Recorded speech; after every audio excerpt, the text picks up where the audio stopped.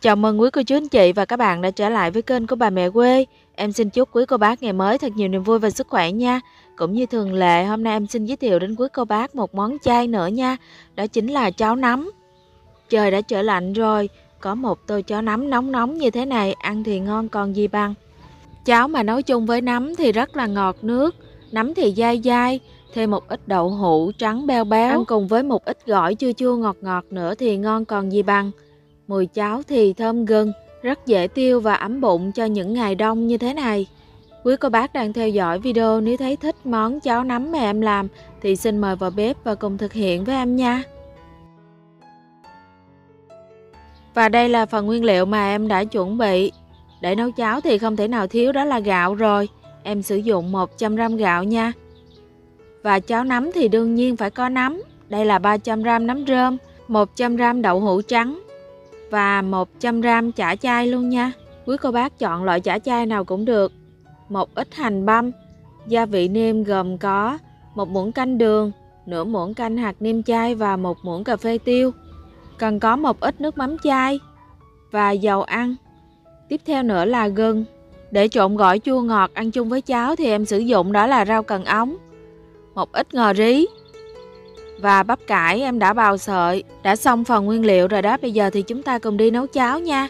Để nấu cháo đầu tiên thì gạo em sẽ mang đi rang cho nó vàng. Gạo rang nấu cháo sẽ thơm hơn, với lại nó sẽ mau nhừ và không có bị nhựa. Quý cô bác dùng gạo loại nào cũng được, hoặc có thể dùng tấm thơm cũng được nữa. Tấm thơm thì sẽ cho ra mùi cháo rất là thơm dứa luôn. Rang gạo thì quý cô bác rang ở lửa nhỏ, và cứ đảo đều tay như thế này để cho gạo nó đừng có bị khét.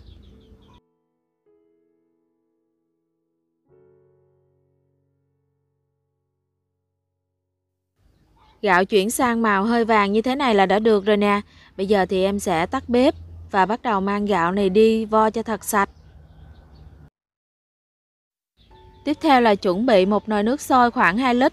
Em cho gạo vào đây và nấu trước nha. Bắt đầu đi sơ chế những nguyên liệu tiếp theo. Phần chả chai em sẽ cắt lát để mà mang đi chiên vàng.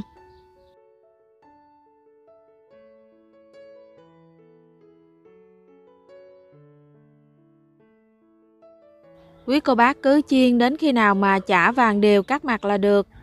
Chiên chả giúp chả dai hơn và thơm hơn khi nấu cháo. Nếu không có chả thì quý cô bác không cần dùng chả cũng được.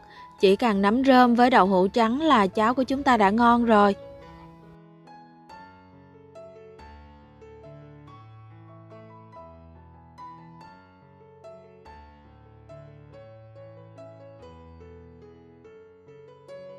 Chả vàng như thế này là vớt ra được rồi nè.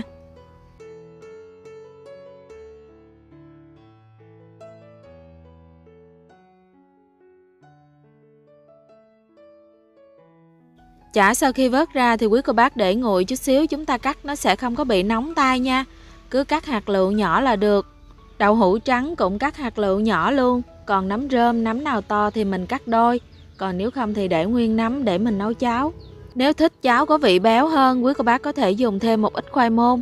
Chúng ta cắt nhỏ và mang đi xào, cho vào cháo nấu chung thì cháo sẽ rất là béo ngon. Nguyên liệu cắt xong em sẽ mang đi xào và nêm gia vị cho nó thấm gia vị rồi mới nấu cháo. Phi thơm một ít hành. Khi nào hành vàng rồi thì cho các nguyên liệu đã cắt nhỏ vào đây. Quý cô bác nào ăn chay không có sử dụng hành thì mình có thể dùng ngò rí để phi thơm. Lần lượt cho các nguyên liệu như chả chay, nấm và đậu hũ trắng vào. Rồi bây giờ đảo đều lên. Ngoài nấm rơm thì quý cô bác có thể chọn thêm nhiều loại nấm khác như là nấm đùi gà nè, nấm kim châm hoặc là nấm dai, nấm mỡ, nấm đông cô, nấm bào ngư đều được hết nha. Đảo nguyên liệu một lúc thấy thơm rồi thì nêm gia vị vào đây gồm đường, hạt nêm chai, một chút xíu tiêu và nước mắm chai. Rồi bây giờ thì đảo nhẹ nhàng, nếu không đậu hũ trắng nó sẽ bị bể đó. Xào đến khi nào mà thấy các nguyên liệu thấm đều gia vị là được.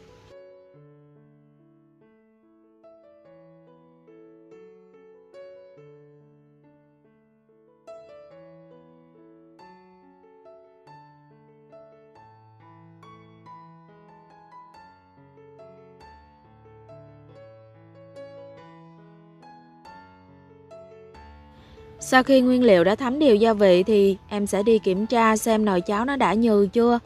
Cháo nhừ thì mới cho nguyên liệu này vào được nha. Và cháo như thế này đã được rồi nè quý cô bác. Bây giờ thì cho các nguyên liệu đã xào vào.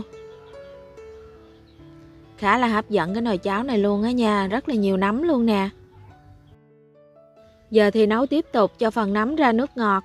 Quý cô bác nấu thêm 20 phút nữa nha. Trong thời gian đó thì em sẽ đi trộn gỏi chua ngọt, bắp cải đã cắt nhỏ, sau đó cho vào nước muối ngâm và rửa sạch lại để cho ráo, sau đó thì cắt rau càng ống vào.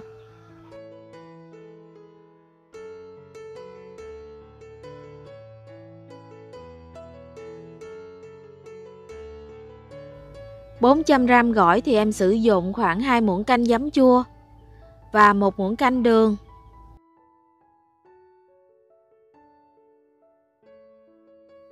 Rồi bây giờ thì trộn đều lên để làm phần gỏi chua nha.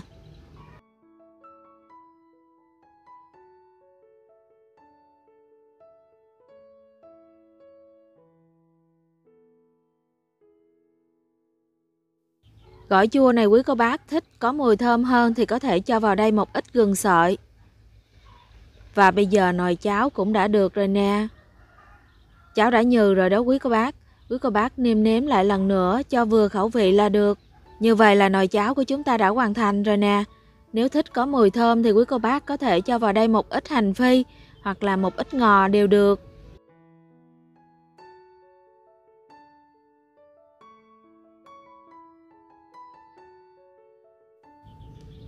Nồi cháo khá là hấp dẫn ha quý cô bác. Bây giờ em sẽ múc ra tô. Và đây là tô cháo nấm em vừa nấu xong. Bây giờ thì cho lên đây thêm một ít ngò nữa.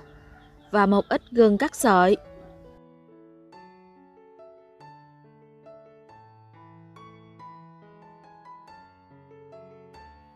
Khi ăn thì ăn kèm với gỏi chua ngọt. Hoàn thành xong món cháo nấm rồi đó, bây giờ thì thưởng thức thôi. Nấm rơm tiết ra giúp cho nồi cháo khá là ngọt ngon. Đậu hũ thì béo béo, chả thì dai dai, gừng thì cay nồng, ăn cùng với một ít gỏi chua ngọt nữa. Đây là món cháo rất là ngon cho ngày đông luôn đấy. Em xin chúc quý cô bác có những bữa cơm chay thật là ngon miệng nha. Còn bây giờ thì video của em đã hết rồi. Cảm ơn quý cô bác nãy giờ đã bỏ thời gian theo dõi video của em nhé. Cảm ơn rất là nhiều. Quý cô bác xem video nếu thấy hay, xin hãy bấm đăng ký kênh để xem món ăn chay mới mỗi ngày nha. Còn bây giờ thì xin chào tạm biệt và hẹn gặp lại quý cô bác ở video sau. Chúc quý cô bác ngày mới thật nhiều niềm vui và sức khỏe. Xin chào tạm biệt và hẹn gặp lại nhé. Bye bye!